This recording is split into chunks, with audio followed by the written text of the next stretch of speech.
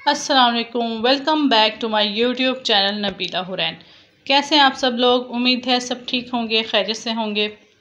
चलें स्टार्ट करते हैं आज की रेसिपी आज हम बनाने जा रहे हैं खिचड़ी, मज़ेदार सी।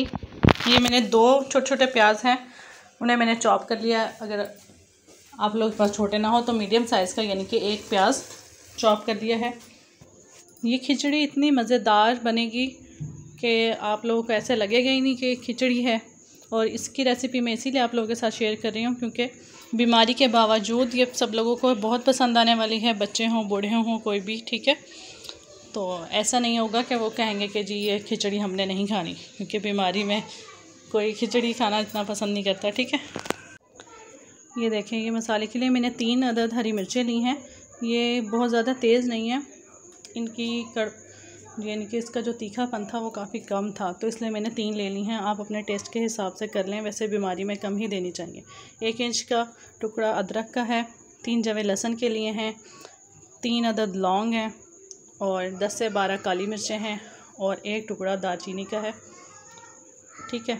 और इसके अलावा एक चम्मच जो है वो ज़ीरा है। ज़ीरा हम डालेंगे, जब प्याज फ्राई कर लेंगे उसके साथ भंगार में, ठीक है?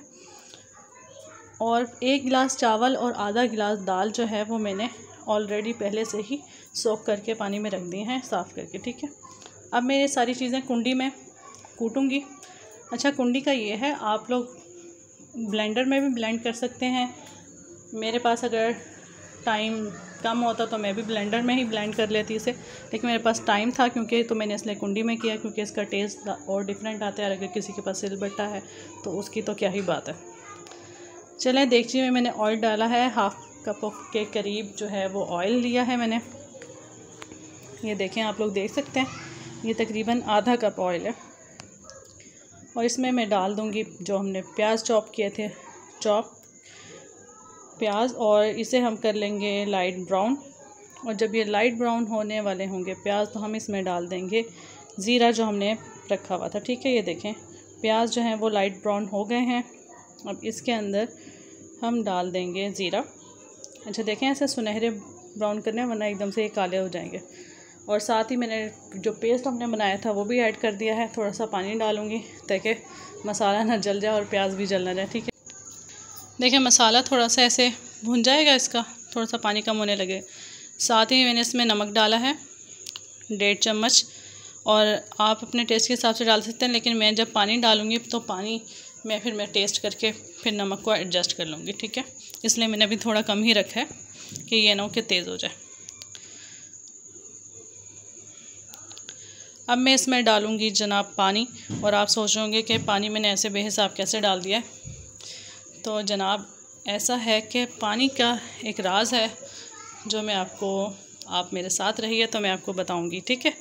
ये मैंने ढक के पानी को पकने के लिए रख दिया था। देखें, पानी में अच्छा सा खद्दा लग गया है बॉयल आ रहा है। और अब मैं इसमें ये चावल और दाल, वो मैं इसमें डाल दूँगी इस पानी में। अब पानी की पैमाइश आपने कैसे करनी थी?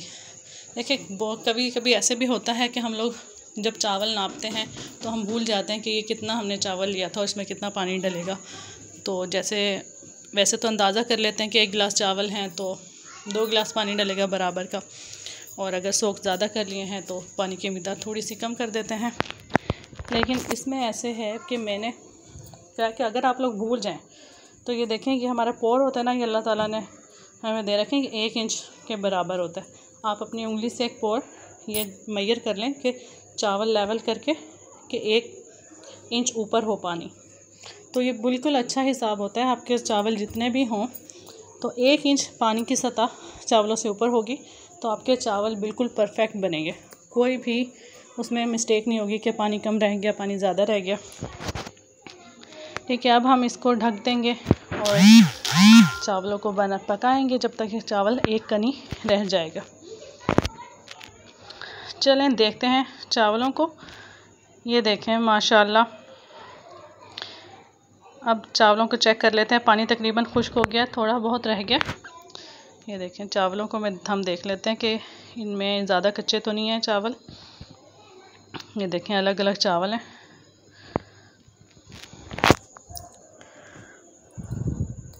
ये मैंने एक दफ़ा इसमें चम्मच चला लिया और अब मैं चावल चेक कर रही हूँ कि ये गल गए हैं। ये देखें, एक कनी चावल रह गया और बाकी तकरीबन चावल गल गया है तो अब हम इसको लगा देंगे दम, क्योंकि इसमें थोड़ा पानी है तो मैंने खुश रुमाल का दम लगाया।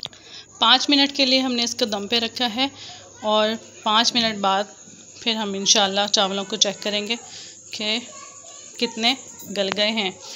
और अगर ऐसा भी होगा पाँच मिनट बाद अगर चावल ना गले हों तो आप एक से दो मिनट के लिए उन्हें फिर से छोड़ सकते हैं, साइड से थोड़ा सा चेक कर लें। तो मुझे उम्मीद है कि इन ये पाँच मिनट हो गए हैं तो ये परफेक्ट गल गए होंगे। चलें जी बिसमीम खुशबू तो बहुत अच्छी आ रही है। अगर कोई ऐसा सेंसर होता जो आप लोगों तक खुशबू भी पहुँचा सकता तो ज़रूर हम आप तक इसकी खुशबू पहुंचाते हैं। ये देखें कैसे दाना दाना अलहदा है। बिल्कुल भी नहीं जुड़ी। ये देखें एक एक दाना, चावल और दाल अलग अलग हैं, जुड़ नहीं गए। पानी का अंदाज़ा बिल्कुल ठीक रहा है। ये बेस्ट तरीका है आप लोगों के लिए भी कि अगर कभी आप गलती से भूल जाएँ मैयर करते हुए कि पानी ज़्यादा डल गया है या कितना है तो बेस्ट तरीका यही है कि आप अपने उंगली के पोर से ऐसे मैयर करें कि एक इंच लेवल ऊपर पानी है तो आपके चावल कभी भी ख़राब नहीं होंगे। ये देखें, ये बहुत मज़ेदार थे और बच्चों को भी बहुत अच्छे लगे। मिलते हैं नेक्स्ट ब्लॉग में। अपना ख्याल रखिएगा, हमें दुआओं में याद रखिएगा। अल्लाह हाफिज़।